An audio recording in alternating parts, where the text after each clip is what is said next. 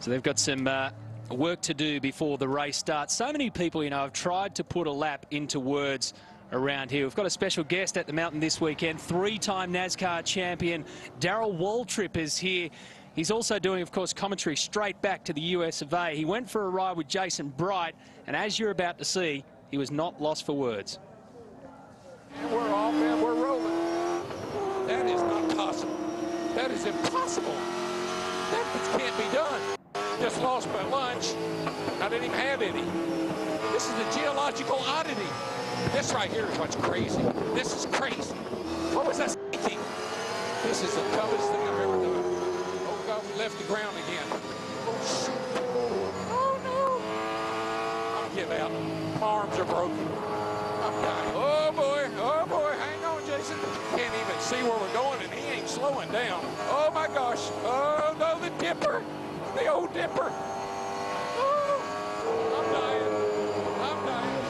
We're gonna die. We're gonna die. Not the corkscrew. Oh, mercy. No, Jason. No, easy, Jason. Undamn believable. Down in the dip, up to. This is gonna hurt. 200 miles a damn hour. Oh, crap. Oh, my gosh. I have never been on a ride like this in my life. It's good, buddy. Back her down. Quit playing around. I don't know how much grip they got, but it'll break your neck. I know that. It's hell corner. It's hell corner. Not hell corner. Not this part. I hate the corkscrew. The corkscrew is dumb. Who put this on the road? You can't race on a track like this. Take me home, Jake. Holy crap. Oh, pit road. You're kidding. This circuit's been called many things, but a geological oddity by DW. He's down there with Mark Larkham. I gotta say, Matty, I've been coming in a long time, Darrell, and that is the most entertaining piece of television I've seen come out of this place. I, I was in shock. Let's see, I, I talked to Jason. I thought he's a level guy. You know, he just seemed like a, a, solid mate, you know, somebody you could depend upon. And so I thought we were just going to go out and take a little cruise, you know, go up to Mountain Straight and look at some turns and some parks. There's parks up there and maybe a little look over the edge up at Skyline, you know, and what in the heck is an elbow doing in the race? But anyway, so when we took off pit road, I knew I was in. I knew I'd made a big mistake because when he put that helmet on, he turned into Superman. I've got to ask you, in to put it in perspective, I mean, Darrell's to us a Peter Brock, a Dick Johnson in their own country, and uh, as a racer, I'm really interested to hear your perspective of the V8 supercar. You've driven it all, you've won 84 NASCAR races, three titles. What do you think about our jiggers? I, I love these cars. I, I, Marcus Ambrose came to America to race, and when I saw Marcus race on a, a road course, I said, this dude is, he's one of the best, maybe the best I've ever seen in a stock car on a road course. I said, I'd like to see where he came from. I'd like to meet some of the guys he raced with.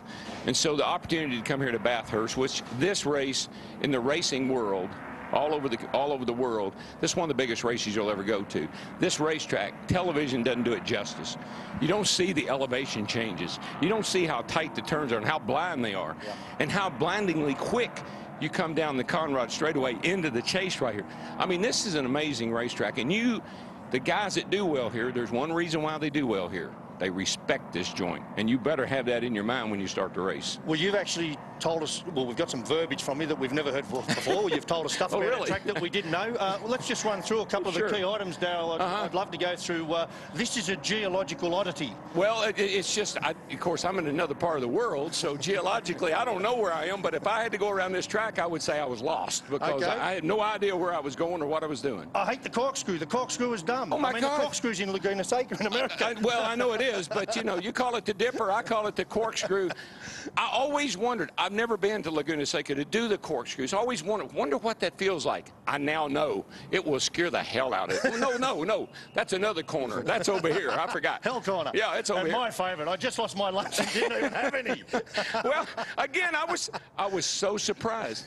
I walked around and, and I talked to Kim and Brad Jones. You know, they're buddies of mine from, they've been to America a few times. And I talked to them and I looked old Jason over and I said, solid lad.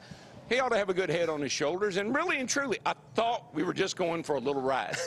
Look, can I say it's a pleasure to have you here, and we want to swap notes after because you can tell me what a dude is, and I'm going to tell you what a hoon is. oh, a hoon. I already know.